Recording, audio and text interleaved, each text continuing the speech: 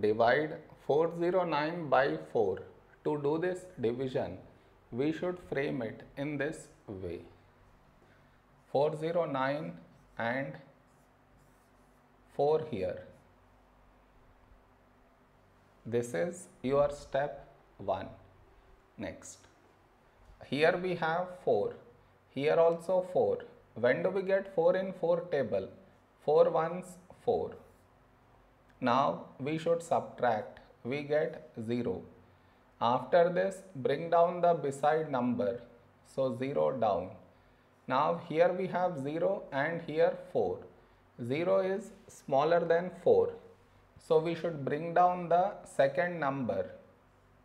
And the rule to bring down second number is we should put 0 here.